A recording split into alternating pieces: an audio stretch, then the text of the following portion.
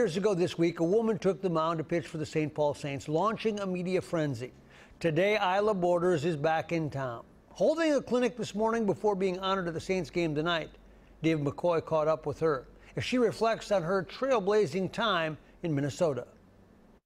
All right, ready? On a baseball field, anything feels possible. Here you go. Nobody knows that better than Ila Borders. Here you go. A message she pays forward Catch a ball out in front. as she leads her all girls clinic this morning at the home of the Saints. We just want to get girls out here to show that girls can play baseball and we want them to have a fun experience. Here you go. 20 years ago this week, Borders took it upon herself to show that firsthand.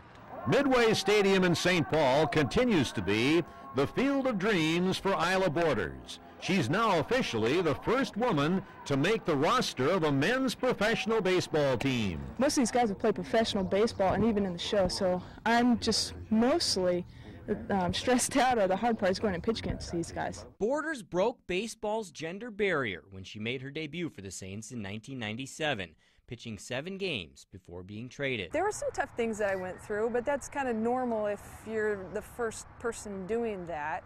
But uh, the fans were great, my teammates were great, and um, I'll never forget that experience with everybody just being so supportive. The Saints have always been known for their gimmicks and promotions, but Borders says she never felt like one. I didn't think somebody could say I was out here to sell tickets because when I first came here, you know, Mike Veeck greeted me in the parking lot and uh, every seat was already sold out for two years. Throw any challenge. But she still remembers the buzz that followed her. You know, I was on Jay Leno, Good Morning Show. Uh, I was over in Japan. It was kind of crazy. 20 years later, she's now a firefighter and paramedic in Oregon, but still keeps her connection to baseball through her clinics, hoping that perhaps one of these girls here will pick up where she left off. You're going to get a lot of no's, but it just takes that one yes. Hopefully, maybe they can get inspired that when somebody says, oh, it hasn't been done, so you can't do it, you can be like, it hasn't been done, but I'm going to do it. Your foot right here. David McCoy, out, and then they throw WCCO it over 4 there. Sports.